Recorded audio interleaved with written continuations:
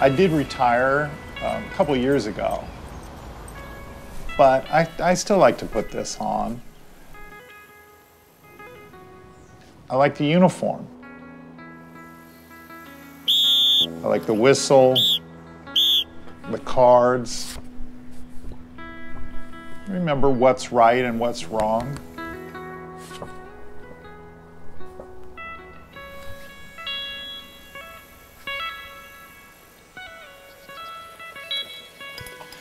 You know, it's, it's not an easy job. You have to pay really close attention, and it's exhausting. You have to keep up with play with these young players, these young kids.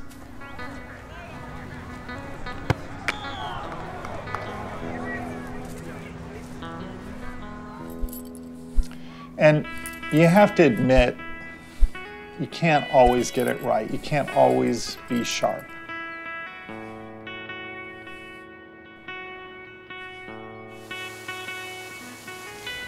I take care of my garden now.